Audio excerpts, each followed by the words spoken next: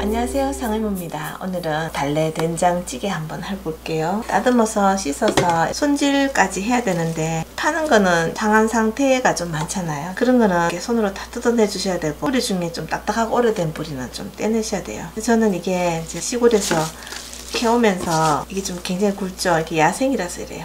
이렇게 조금 말랐는 것만 달래를 먼저 잘라 볼게요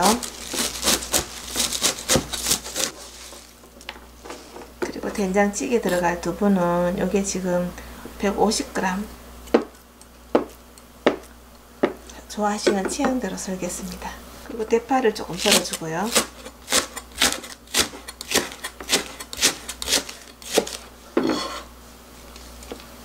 양파도 조금 썰어주겠습니다.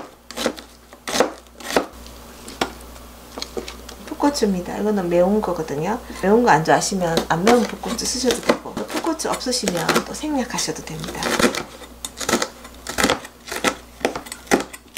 이거는 조금 특이하게 생겼죠. 이거는 단호박이 자라다가 이제 만 거예요. 그래서 단호박도 어릴 때는 이렇게 애호박처럼 쓰시면 되거든요.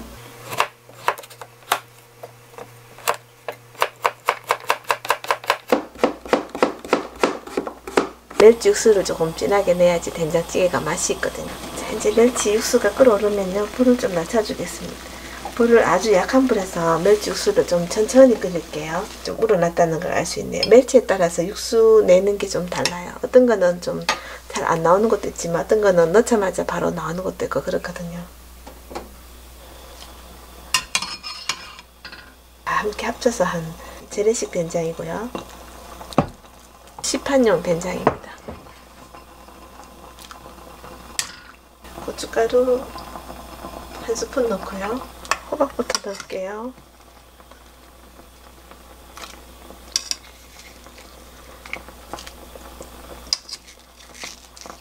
그리고 이제 대파도 넣습니다. 자, 양파도 넣고요. 두부를 넣겠습니다. 달래는 이제 마지막에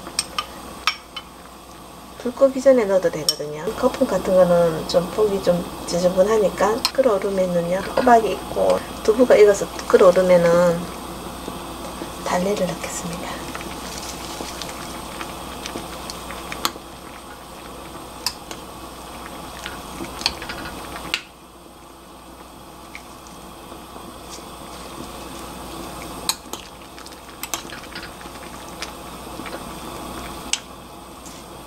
그리고 이제 풋고추 자 오늘은 이렇게 인사해야 되겠습니다. 상의모였습니다. 감사합니다